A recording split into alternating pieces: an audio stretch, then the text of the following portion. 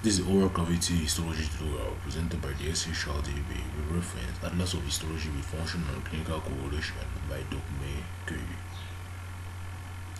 So we start with the introduction of the oral mucosa. so for the introduction of oral mucosa, we need to point out the fact that the oral mucosa is made up of the lips, the cheeks, the tongue, the teeth, and the gingiva. It's made up of the gingiva, the palate, that is the heart and the soft palate, the salivary gland, and the tonsils. So now you need to know the next point you have to know is the mucosa, the lining mucosa of the oral cavity. So the lining mucosa of the oral cavity is made up of the non-keratinized stratified squamous epithelium, unlike the, skin, the skin that was the thin and the thick skin where we had a keratinized stratified squamous epithelium. Now, there are two distinct layers in the under the non-keratinized stratified squamous epithelium, which are the stratum basale and the stratum spinosum. That's a peculiarity here. The epithelium of the lining mucosa is similar to that of the epidermis of the skin, except that it has neither um, the stratum corneum nor the stratum lucidum, and the stratum granulosum is often absent so in other textbooks, we have three main layers, which are the stratum basalis, spinosum, and the stratum superficialis. And that stratum superficialis consists only of the stratum granulosum. okay. So the other point we need to find out the, mas- the mastication mucosa. The mastication mucosa is going to be located at the level of the gums, at the level of the palate, and uh, close to at the level of the gums, close to the tooth. So that masculination mucosa is made up of the stratum basale, spinosum, and granulosa, while the other lining mucosa were only made up of stratum basale and the spinosum. Now, specialized, so for the specialized mucosa, so specialized mucosa is going to be located in order for you to have the sense of um, taste. You need to know that the taste buds, you have um, different taste buds which constitute of four types of stuff. So the taste buds have um, we have papillae inside the taste bud. So and there are four types of papillae. We have filiform, fungiform, circumvallate, and foliate papillae. So the different structure of each of them are going to be shown later. so now this is a general diagram of the anatomy of the, the elements inside the oral cavity. So the oral cavity is made up of the lips. So we have the uh, the lips as you can see here.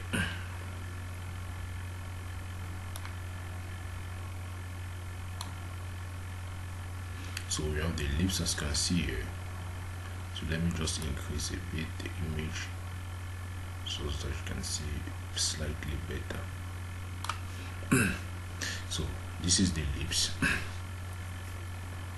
So you can see the lips. So at this point here we have the vermilion zone. So the vermilion zone is the intermediate zone where there is a change from because this part of the lips is made up of this um, stratified the keratinized um, epithelium. While the inside part is made up of non-keratinized epithelium. Now the intermediate zone of between the keratinized and the non-keratinized stratified epithelium is going to be that vermilion zone and that's usually pink in color so we have the vermilion zone here. So this is the outer skin. So we have the outer skin um, so after the outer skin the inner part we have the labial mucosa. And the labial mucosa we said that is made up of only two layers. And that those two layers are only stratum basale and stratum spinosum two layers of uh, stratified squamous epithelium now the next one we have the muco um, the, the mucogingival junction is a junction between the the labial mucosa of the lips and then the um, the, the gum of the lips. So because this is the gum so this is the mucogingival junction. So this is the gingiva or the and it is made up of masticatory mucosa now this is your tooth here most probably the incisors.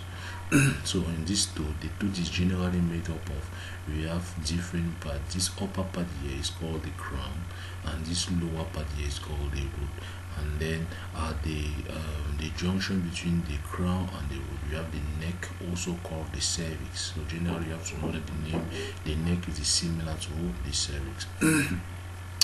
Now the elements which are found inside the crown what are the organs found inside the crown?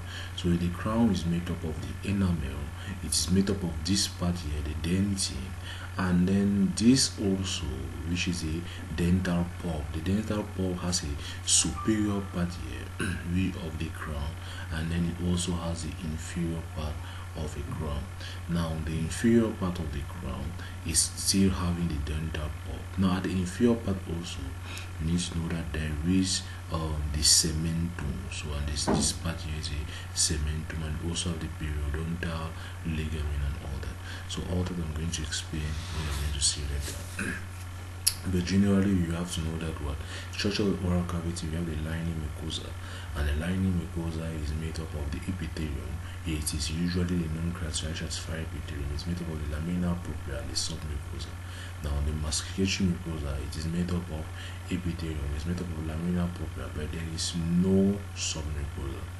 Now the next is specialized mucosa the specialized mucosa are made up of um, the the papilla. Now the papilla are different regions that are going to be found inside on the tongue now we need to know that different papilla may contain taste buds or not. The filiform papilla for example do not contain any taste bud.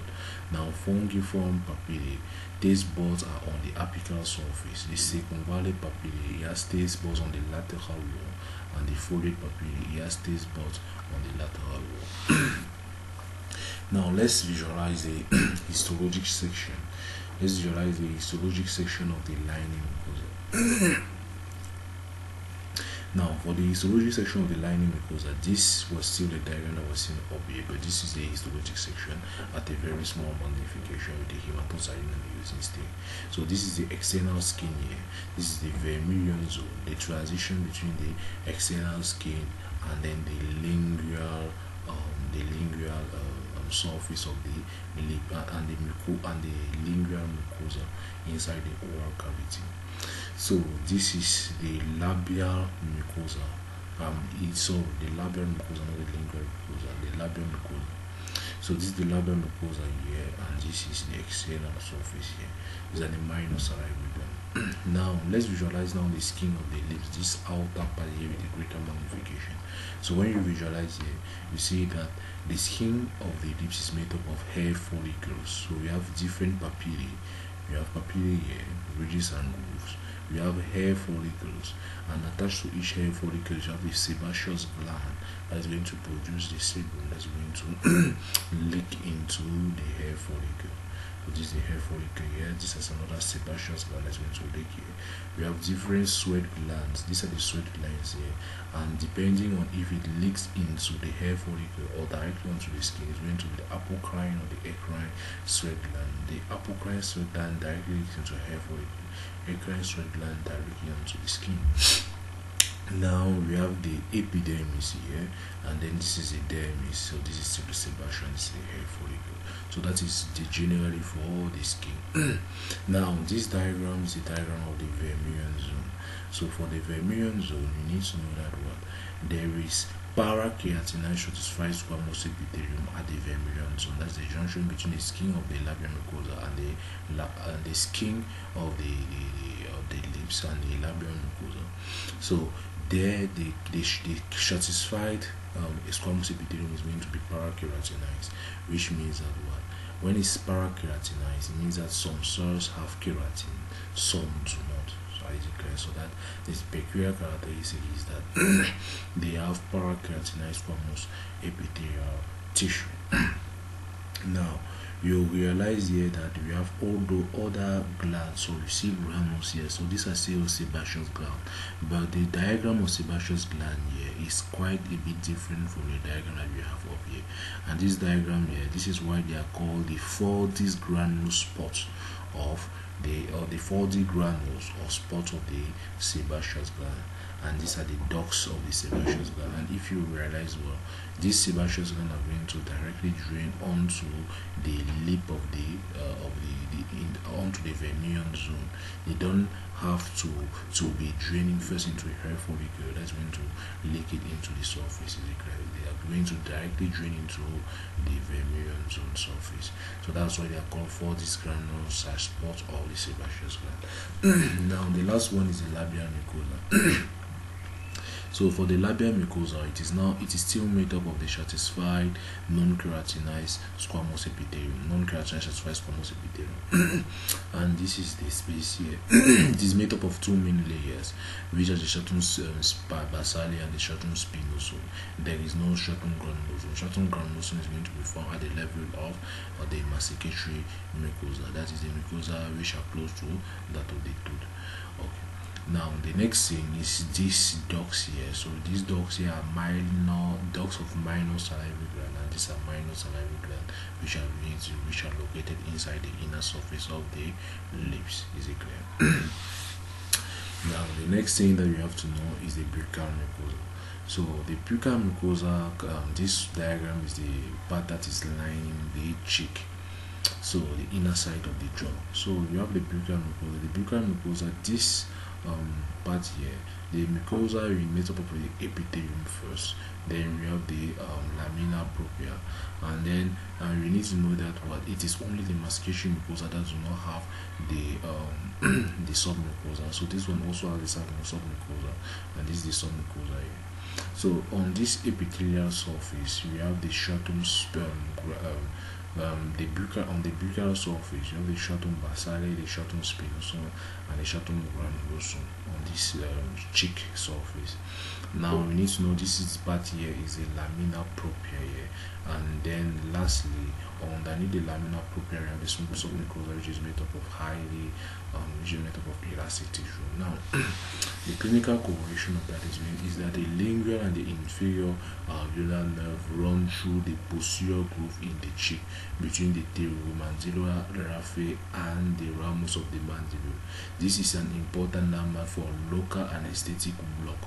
So when you want to block the um, for when you want to remove the tooth of somebody, you need to know that the lingual and the inferior alveolar nerve, which comes from the uh, the branch of the mandibular branch of the trigeminal nerve, they, they pass posterior to the groove of the cheek that is between the pterygomandibular raphe and the ramus of the mandible and this can be used as an anesthetic block now the clinical another clinical correlation now of the mucosa of um, the, the the oral cavity is that you of the buccal cavities that you can have oral submucous submucous fibrosis of the lips so what is oral submucous fibrosis of the lips so oral submucous fibrosis is a precancerous um, cancerous condition characterized by a mucosal rigidity due to fibroelastic changes of the lamina propria and the submucosal layer of the lining. So normally you are supposed to have elastic fibers inside the lamina propria and the um, the submucosa. Now, as you can see in the diagram that were above, now you see that in this case you have those changes and then they are replaced by thick collagen fibers. basically. So in this case in the diagram that you see here you can see atrophy you first have atrophy of epithelium and you have increased collagen fiber and all this is going to make now the lips to be fibrous and going to be rigid is it clear so this is oral submucous fibrosis of the lips so to see now the difference between the lining mucosa and the mastication mucosa just pause the diagram and then visualize it where you see that the mastication mucosa is mostly made up of keratinized stratified squamous epithelium as we are going to see later. So this is mastication mucosa of the at the level of the gingiva. so for the mastication mucosa, you need to know that what it is covered, it is covered, it covered the gingiva, uh. So it covers the gingiva, and so this epithelium is made up of keratinized um, squamous, stratified squamous epithelium. now, um, as you can visualize here in this diagram, this is still with hematoxylin and eosin. So um, this here is the alveolar bone and here is the dental pulp with here being the tooth so here is the gingiva so at the level of the gingiva you have the free gingiva and this is the attached gingiva so this attached gingiva is attached to the bone here. This is a free gingiva. So the free gingiva at this level here we have a sulcus epithelium and then we have the enamel space and then we have the junction epithelium. Now we need to visualize that all this epithelium which is cool which is here is actually keratinized squamous epithelium is it clear so and this is the mucogingival junction now the masticatory mucosa of the hard palate. You can also you can also visualize in here. Here is still made up of keratinized stratified squamous epithelium as you can visualize you have stratum basale you have the stratum spinosum you have the stratum granulosum which is here you have the stratum corneum that is far up now we don't have we need to know that what as we have already seen on the thin skin it is only the thick skin that has the stratum lucidum the thin skin and also the mucosa the line the mastication mucosa of the oral cavity do not have the stratum um, lucidum. They have the stratum corneum as you can see here. And all this is made up of keratinized stratified squamous epithelium is it. Clear so now um, the clinical correlation of mastication because of the hard palate is that we have a certain condition of the hard palate called cleft palate and that cleft palate is a birth defect in the in which there is um, fissures in the hard palate so there is a bifid hard palate the hard palate is going to be divided in a pair of two is it clear now the clinical condition of um, the um, mastication mucosa of the um, hard palate and that of the gingiva is going to be nicotine stomatitis. So nicotine stomatitis is a non um, precancerous is a non precancerous condition characterized by white lesion in the oral mucosa of the hard palate of the mouth. So the causes of this condition are associated with long-term tobacco smoking. It? So how do you visualize now nicotine stomatitis? Generally, you have to know that stomatitis is inflammation of the uh, the oral the oral mucosa oral cavity. Now this is the diagram now of um, a patient having of histologic section of a nicotine stomatitis. So you can see of hyperkeratosis. You can visualize hyperkeratosis here, excess keratin inside the epithelial surface. We have acanthosis. We are going to have orifice of the gland ducts. We have minor salivary. So these are the orifice of the gland ducts. The minor salivary glands are increased.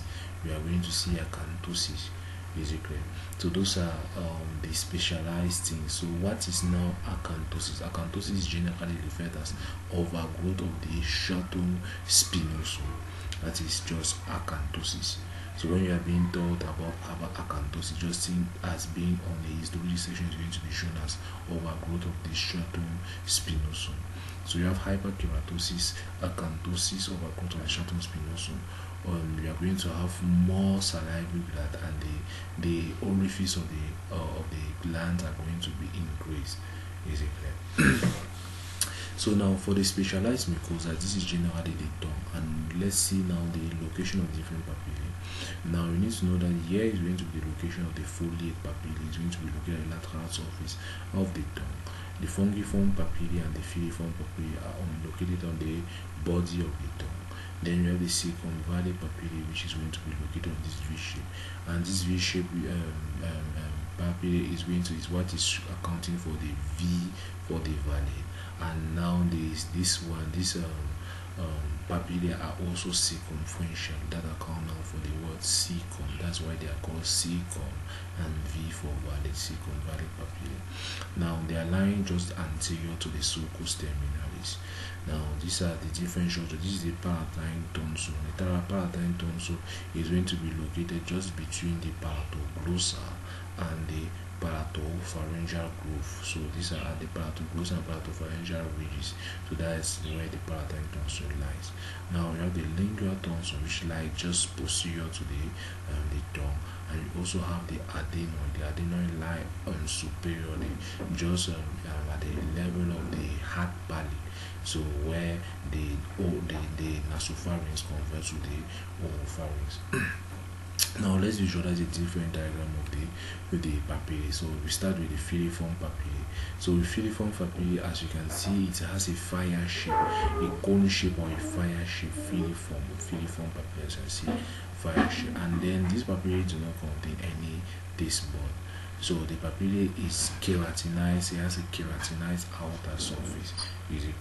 That those are the things that you have to know and does not contain taste buds, made up of keratinized squamous epithelium. Now the different one, the next thing that we are going to see now um, is um, the fungiform papillae. So the name fungiform now account for its dome shape.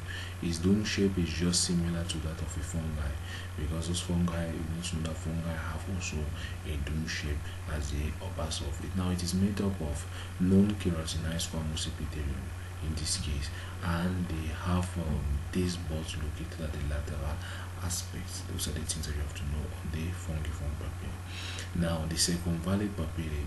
So um, so the the, the, the taste buds are located on the on the apical surface, sorry.